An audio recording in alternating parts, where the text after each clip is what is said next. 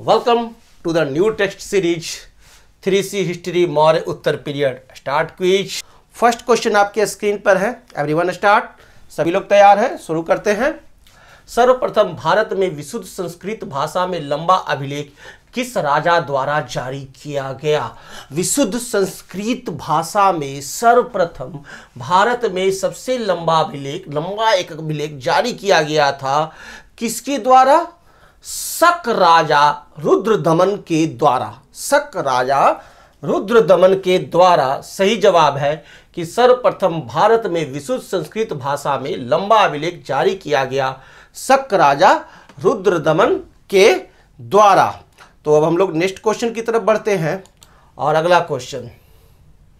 किस राजा के शासन काल में ईसाई धर्म प्रचारक सेंट थॉम्स भारत आया? तो सेंट थॉमस, भारत आया था किसके शासनकाल में? गोंदो फिरनस गोंदो फिरनस राजा के शासन काल में गोंदो फिरनस राजा के शासन काल में ईसाई धर्म प्रचारक सेंट थॉम्स भारत आया। किस कुषाण शासक ने सर्वप्रथम स्वर्ण मुद्राएँ जारी की? तो स्वर्ण मुद्राएँ जारी करने वाले शासक थे सर्वप्रथम। किसने किया था? कडफिसस टू ने।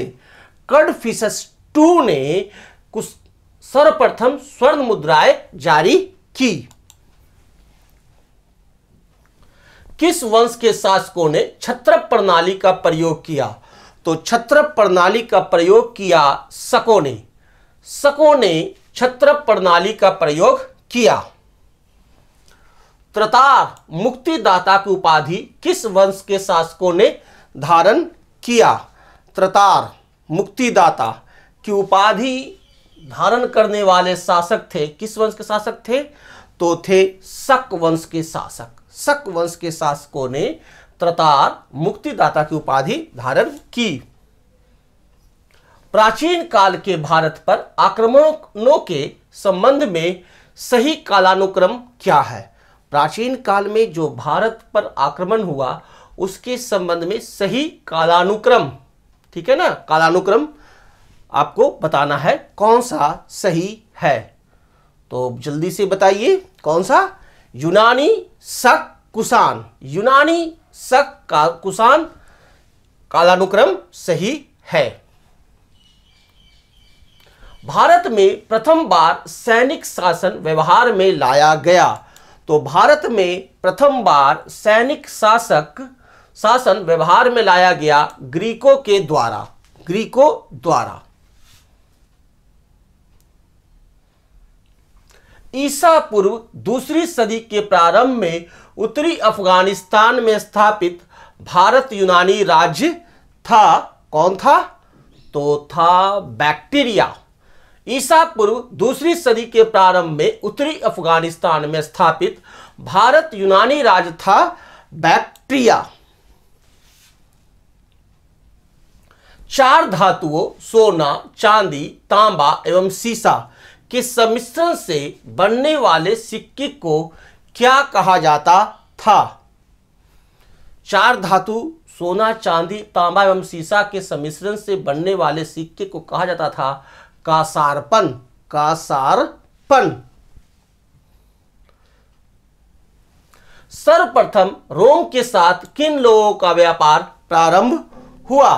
तो सर्वप्रथम रोम के साथ व्यापार प्रारंभ हुआ तमिलो एवं चेरो का। तमिलो एवं चेरो का व्यापार प्रारंभ हुआ सर्वप्रथम।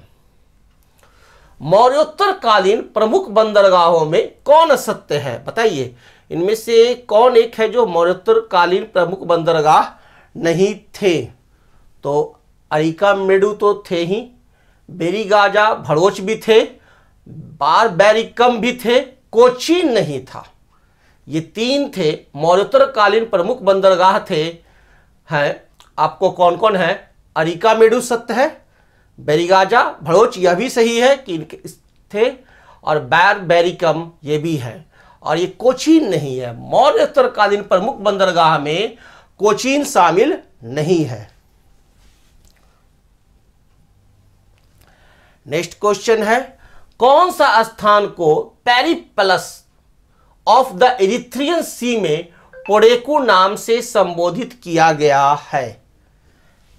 Periplus of the Erythraean sea में पोडेकू नाम से संबोधित किया गया है। किसे? अरिका मेडू को, अरिका मेडू को कहा गया है। मौर उत्तर काल में किसने भारत में हिंद यूनानी राज्य की स्थापना की? तो मौर उत्तर काल में भारत में हिंद यूनानी राज्य की स्थापना की डेमेट्रियस ने डेमेट्रियस ने डेमेट्रियस ने की। निम्न में से किसने अपने जीवन के उत्तरार्ध में, अपने पुत्रों के हाथों में राज सत्ता सौंप कर बौद्ध भिक्षु हो गया। तो बौद्ध भिक्षु बनने वाले हैं अपने जीवन के उत्तरार्ध में, अपने पुत्र के हाथों में राज सत्ता सौंप कर मिनांडर मिनांडर मिनांडर ने। कुसानों का संबंध किससे था? कुसानों का संबंध था चीन के यूची जनजाति से। कुसानों का संबंध था चीन के यूची जनजाति से। रोमन साम्राज्य के अनुसरण पर किस वंश के शासकों ने कैसर सीजर उपाधि ग्रहण की? तो कैसर सीजर उपाधि ग्रहण करने वाले शासक थे, कौन थे? कुशान। कुशान थे। रोमन साम्राज्य के अनुसरण पर कुशान वंश के शासकों ने कैसर सीजर उपाधि ग्रहण की।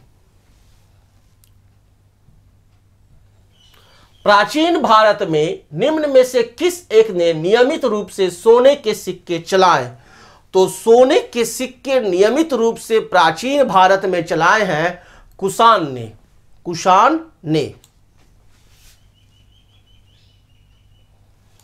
किस अभिलेख में चंद्रगुप्त मौर्य और अशोक दोनों का उल्लेख किया गया है? कौन सा ऐसा अभिलेख है जिसमें आपको चंद्रगुप्त मौर्य और अशोक दोनों का उल्लेख किया गया है। बताएँगे तो महाक्षत्र तप रुद्र दमन का जूनागढ़ अभिलेख में। महाक्षत्र रुद्र दमन का जूनागढ़ अभिलेख में चंद्रगुप्त मौर्य और अशोक दोनों का उल्लेख मिलता है।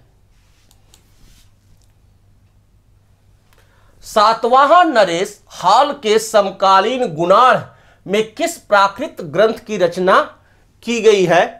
तो वृहत कथा वृहत कथा। सातवाहन नरेश हाल के समकालीन गुनाढ़ ने प्राकृत ग्रंथ में, प्राकृत ग्रंथ की रचना की थी। कौन सी? वृहत कथा।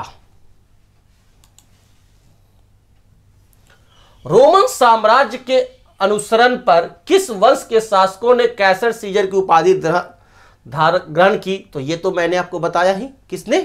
कुशान। वेरी गुड सबको याद है। ओके थैंक यू तो डिस्क्रिप्शन में जा करके आप टेस्ट देना ना भूलेंगे. Thank you good bye